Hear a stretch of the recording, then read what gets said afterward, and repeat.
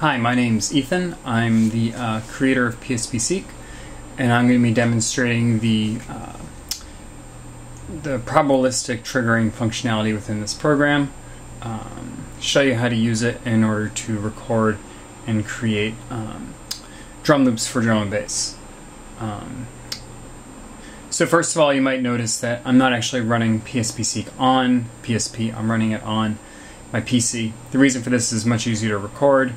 Uh, however, when I talk about um, button presses and any sort of interaction with user interface, I will do it from uh, the perspective that, that you're using this on the PSP. Okay, so uh, what do I mean by trigger probabilities? So in a typical sequencer, um, audio sequencer, uh, whether or not a note is turned uh, off or on is a, a binary operation. Either um, the note triggers or doesn't trigger. Uh, in PSPSeq, um, this um, choice to trigger or not trigger is a probability. It can range anywhere from 0 to 100%. So if uh, you have a step where uh, a track will never trigger, then the trigger value is 0. So for instance, in this loop right here, um, all steps in, in this loop have a trigger probability of 0. The trigger probability is seen in the upper right hand side of the screen. Uh, and you can see next to trig, um, there's number zero. Uh, if you want to always trigger a note, then the trigger probability is set to 100. And if you want to trigger with some chance of triggering or not triggering, then you set the probability between 0 and 100. So what I have uh, loaded up right now are three uh, wave file playback uh, generators. Um, along with uh, along with uh, filters associated with them. And loaded into them, I have um, a couple of different drum loops. I have the amen break, and I have another break put into into those um, into those generators. And I'm going to show how you would trigger uh, notes in order to create drum and bass. So first, I'm going to I'm going to go to um, first loop. Uh, and in that loop there is a single amen break playing with all the trigger probabilities set at 100%.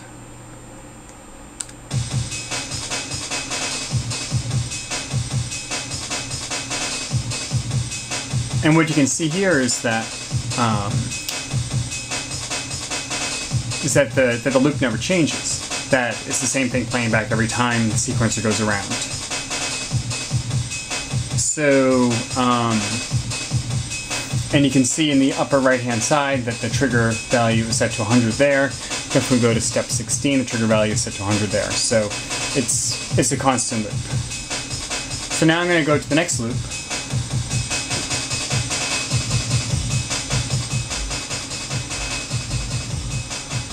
And in this case, uh, we have two amen breaks playing, um, playing on separate uh, tracks and it's still a constant loop. It's a little more complicated, a little more interesting. However, uh, it doesn't change every time the loop um, goes around.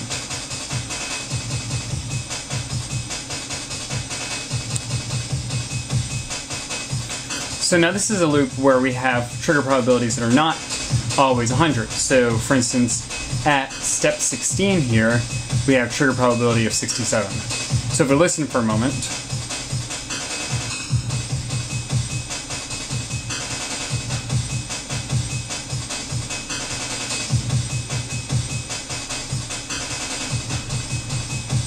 you can see that the loop is a little bit different every time it plays because uh, the triggers don't always happen.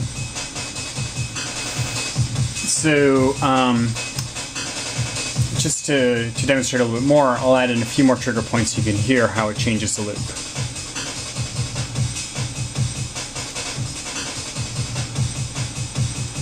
So if you want to change the trigger value, what you do is you hold down the X button and then um, use the analog stick for bringing the trigger value down. So you can see here I've set the trigger value for the second wave file playback uh, to uh, 52%.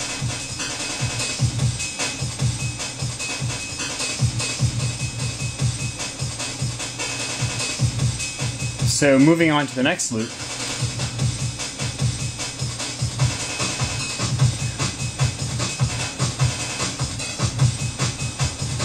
What I've done here is I have, in the third channel, I have uh, another uh, drum loop which is playing back with a very regular rhythm.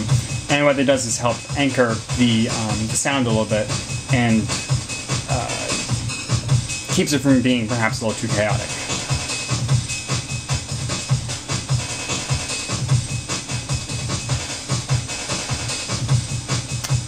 Okay, and in the final loop, what I've done is apply um, the filter to um, various steps in the loop.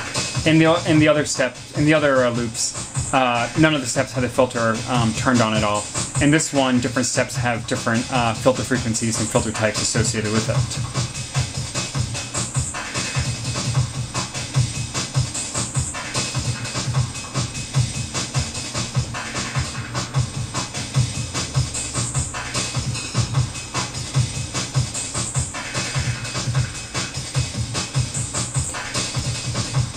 So you can hear how every time the loop goes around, the, the sound changes a little bit.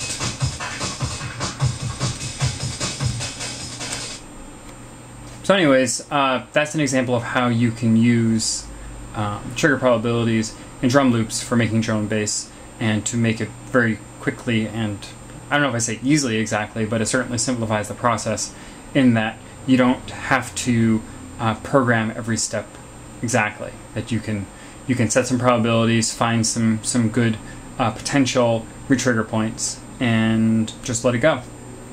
Uh, so uh, this trigger probability concept is also useful in other ways, other than just um, for um, for doing uh, drum loops.